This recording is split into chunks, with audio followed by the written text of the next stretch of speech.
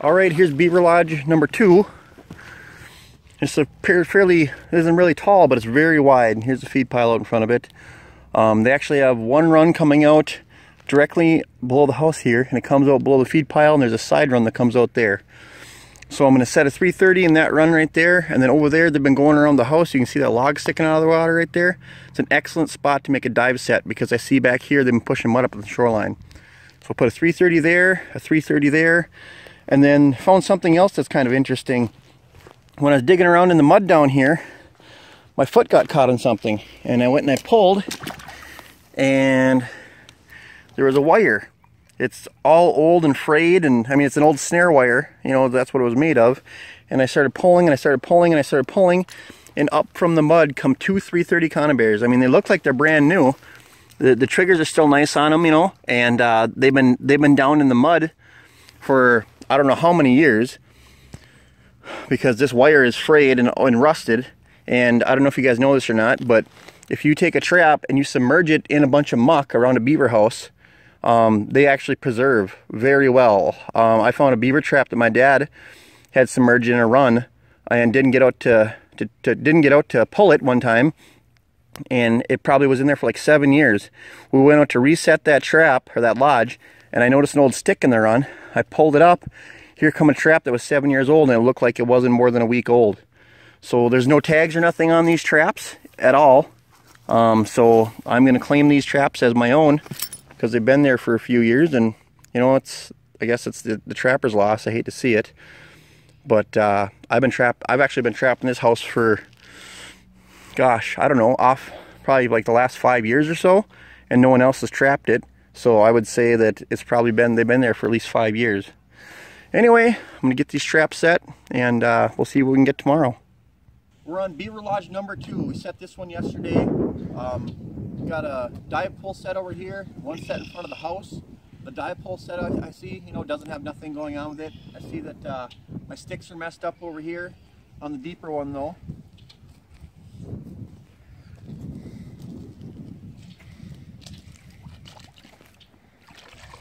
case you're wondering, these these runs here now are are a lot deeper than the ones I've, I've been used to setting anyway. Let's see here. So I had a I had an H stand on this one, and I don't use them very often, but here's the H stand right here. Okay, this is a oh, this is a big beaver. My wire there. Okay, my H stand. Here we go. You see I don't use them very often, but there's my H stand. God, this is a big beaver too. In fact, I'll bring him up in the house over here so you guys can see him. Oh, if I can get out of the water, that is. Look at that head catch on it too. Oh. I just caught this beaver this morning. It's still kind of warm and limp looking. But you can see, look at that head catch on that beaver. Nailed him. I'm guessing there's only two big ones in here. There could be more, but I should have had a smaller one. But oh, this is a good size one. This is going to be probably 55, I'm guessing. But uh, there we go. Beaver house number two. Connected on another really nice beaver. Beaver lodge number four. Might as well call it Beaver Mansion because as I walk to the top of this thing, you can see it's just gigantic. Anyway, right there's a bank den. There's a bank den back in the rushes or someplace under that bog, but there's an entrance to it right there. I set a 330 there. 330 right there. Where is it? Oh yeah, right there. 330 right there. And 330 right there. So I got five sets in this massive house. Um, yeah. So, all right. This giant beaver house here. Um, we got one trap that was set off it's a mistake that every trapper makes. I haven't made it in a while, but it happens. Had that conibear set off there, and I forgot a safety on one of the springs. So that beaver getting away, and probably won't go near a conibear again in the rest of its life. But we do, we did manage, manage to catch two beaver down here. These runs are really deep too. Know, there's my swivel stick. Oh, here's my stake.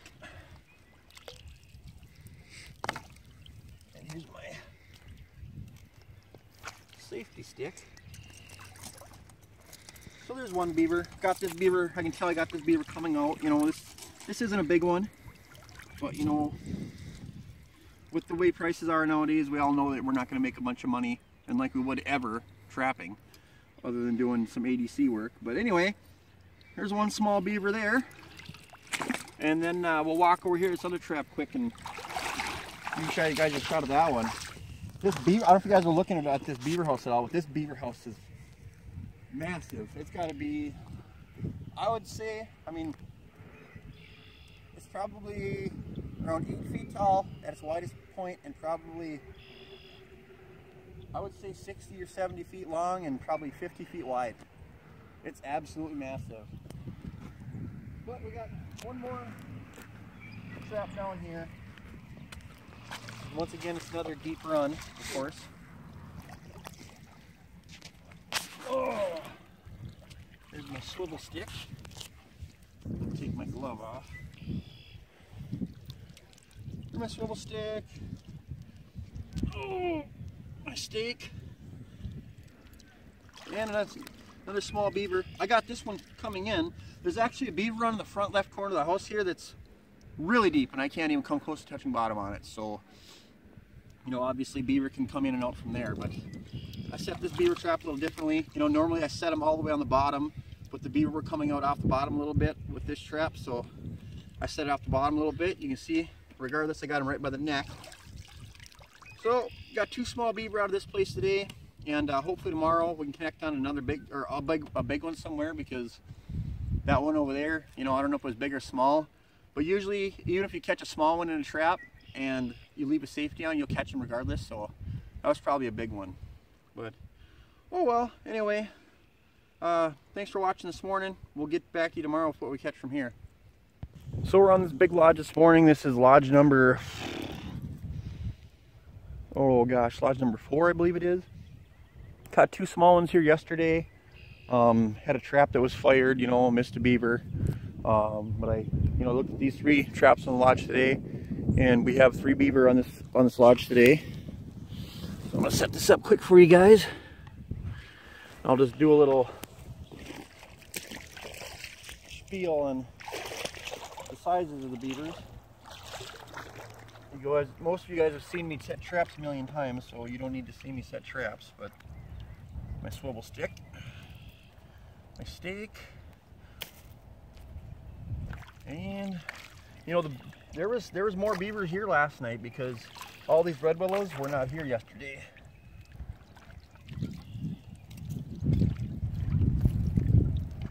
But there's this one here. So this isn't a big one, you know, it's a small one, like yesterday's beaver, but that's all right, you know. I'm getting 12 bucks a piece for them just straight across the board, so it's fun to catch some big ones, but I know how that goes. We'll run right over here quick. And if we walk up to this one, here you can actually see this beaver here. I think maybe it's the big, this could be a bigger one, but you can see, if you look, there's the tail right there. In fact, I'll, I'll bring it right down the water for you guys so you can get right down in on some of this action here. You can see that. That is the beaver right there. And there's his tail right about there. I'll just set this up right here quick.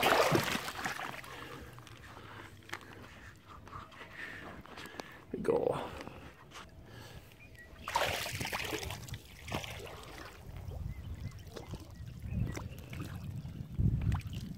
My good old swivel stick here. My stake. My safety wire is tied off over here. Hey, there's a nice piece, nice piece of diamond willow. I'm gonna take that home with me. I think I'm gonna this out here. Okay, there we go. There's a beaver right there. I'd say that's a, I don't know, it's not that big, but it's definitely a decent sized one maybe.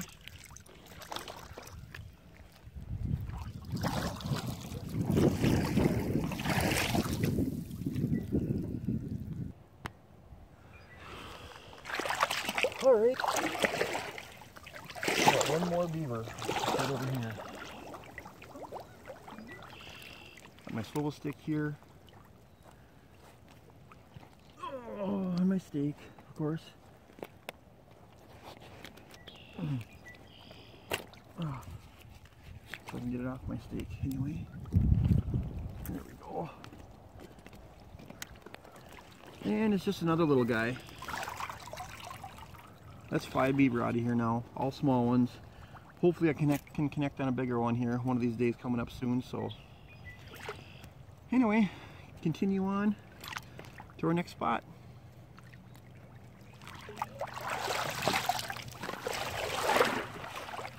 Here. Keeps going, keeps going, keeps going. I'm gonna walk up on top it. You can see how big it is. It's not that tall, but it is massive. Probably easy, but that's where I moved them. I did leave um, two castor mound sets by the shoreline here, hoping to get a beaver.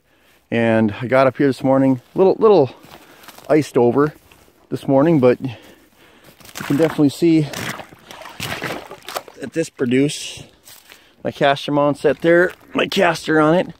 I'm gonna go out here and grab this beaver. It's a pretty good sized one too. Nailed him right by the head in that blile. And I do I do just have a big long stick here wired to the blile because I knew that, you know, if I caught a beaver in it, it wasn't going to be able to wasn't going to be able to get away with the trap. So I'm actually just going to break all this up here because I want more beaver to come up in here tonight, hopefully. It's supposed to get up to 40 degrees today, so the water should open up, you know, nicely.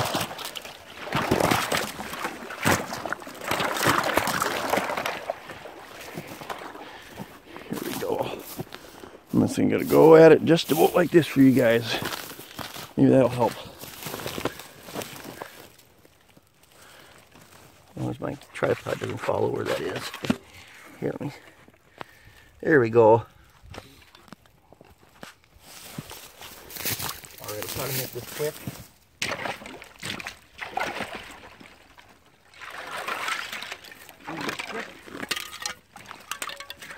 wire. I just laid it right there. It's a dead tree. This is a pretty nice beaver. You can see probably a 45 or maybe a 50 pounder. That's that's the second big beaver I've taken out of this lodge, but like I said yesterday, something ate my other one, so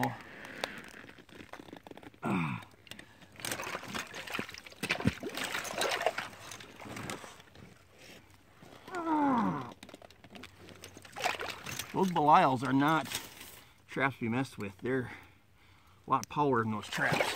Anyway, there's that big beaver right there. I'm gonna reset this trap quick for you guys.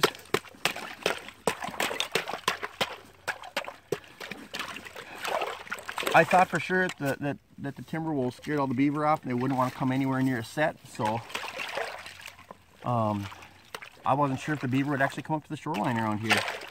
So I, so I actually left my left my rubber gloves back at the truck.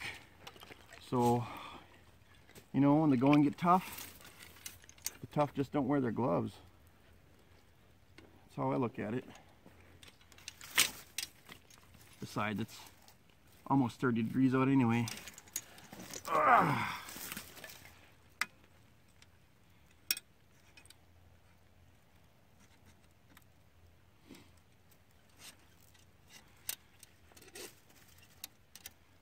My trap here. Half my sticks are already in place still from that last beaver. So I'm just gonna get this trap put in here. beaver must have some mud in there.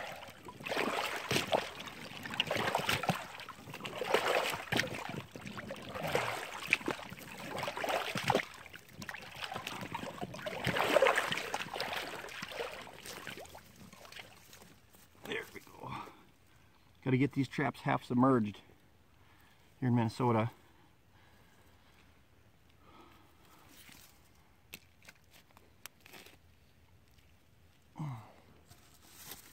I'm just going to put a couple logs on here, like so, like so, big clump of mud here. I'm just gonna wrap it around the stick to disguise it a bit. Other side, same thing, clump of mud there. Try hang it over just a little bit, disguise it. I'll even grab a little bit more over here disguise this trap a little bit better. Just trying to channel the beaver in here. I actually have a, there is an old castor still on my old stick here. I could use it, but I'm not going to. I'm just gonna take a nice fresh one here. Ooh, I'm gonna drop half it in the water apparently. Well, it's underwater, so it don't matter now. Alright. Oh, I'm gonna make a little fresh beaver castor in the morning. I'm just gonna shove this right in front of the trap here. Any beaver comes near shore, it's gonna smell that castor, head right into that 330 like this last one did. Well, we got a couple traps on the lodge. We'll go check those. You know, I didn't catch nothing in there yesterday, but let's hope for better stuff today.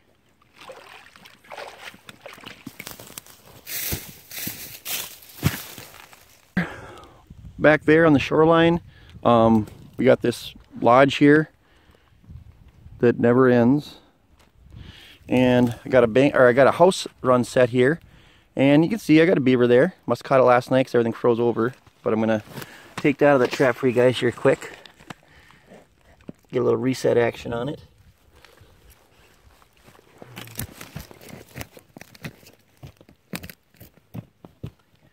Ooh. This is the only run that isn't 2,000 feet deep. When I say 2,000 feet deep, I mean, okay, not that deep, but deep. Got my stick here. Let's see here. Somewhere I got a, oh yeah, right here. Pull the beaver over. You guys can get a look at him. You know, it's that's probably a, it might be a two-year-old. You see I got a nice head catch on him. And I caught him coming into the hut. So he came in from one of these other runs over here. But oh, you know, I do a, I do a lot of trapping videos, and I don't, you know, I don't imagine you guys want to see me reset every single trap or on every single video. I don't know, honestly, what you guys really want me to do exactly on all my videos, but I gotta show some of this stuff. Uh.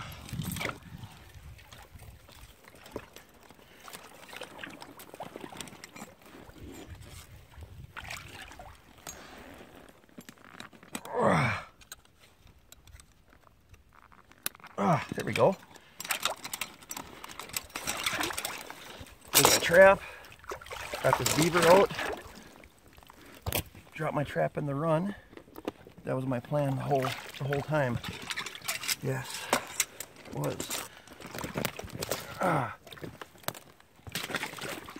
Get out of here. Let's see. You know, I had a nice swivel stick laying here someplace, and I'm gonna float it away. I think I can actually see it out here. And if it isn't it, I'm to take it anyway. There we go. All right. Gonna make it fast and painless for you guys. Reset this trap here. You know, the truth is with this with this trap I'm setting now, um, this run where they're coming out of the lodge, you know, it's not a really hard bottomed run. Normally, you know, you got a hard bottom run, beaver coming out right on the bottom this one isn't that deep, so I'm not actually going to put this trap right on the bottom. This one here, normally I shove the springs way down like this, but this one here, I'm actually going to leave this one up. So it stays off the bottom just slightly. Run this through the thing there. Put this right in about here. You know what, before I do that, I should really make sure that there's nothing in the way here because that happens quite often. Okay, there's nothing in the way. So I'm just gonna put this down here, like so. Go, my trap. I'm Gonna swivel it over here just slightly. Push this back to so my stick trap doesn't get caught on that stick. There we go that in there. There's my swivel stick, like that.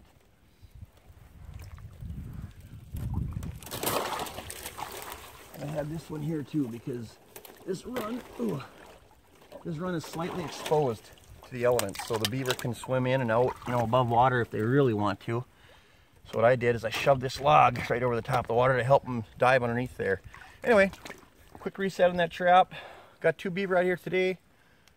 Hopefully next time we come out here, um, we'll have a couple more beaver and some video of some wild animals eating